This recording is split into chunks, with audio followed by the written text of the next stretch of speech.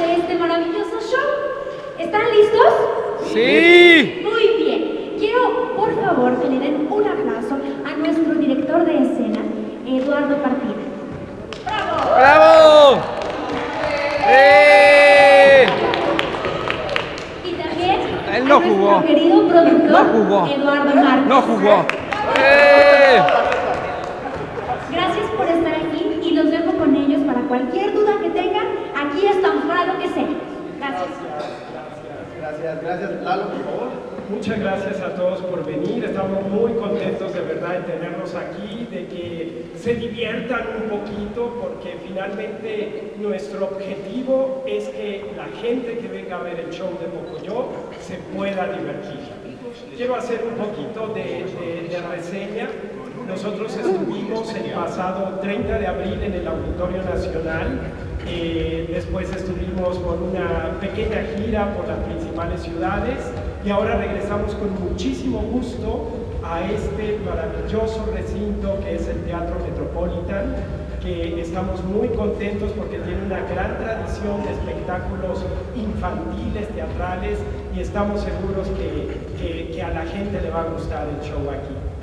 El, el espectáculo es un, un show divertido, interactivo y queríamos que ustedes se divirtieran un poquito al estilo de Pocoyo y que tuvieran una probadita un poco de lo que va a ser el show.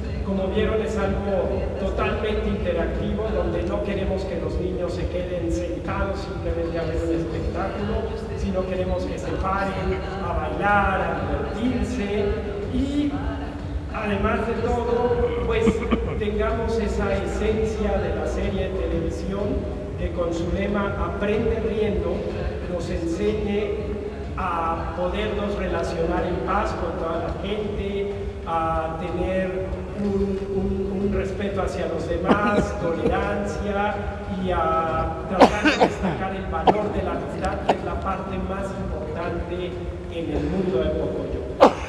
Y pues quisiera también que Lalo, que es nuestro director, nos platicara un poquito más de lo que ha sido este proceso de montar el show aquí en México. Muchas gracias.